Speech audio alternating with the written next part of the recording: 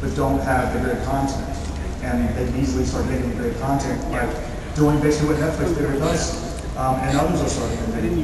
Get the guys that are creative. I think if you actually go, if you wanted the cloth back, this same discussion that we're not having today.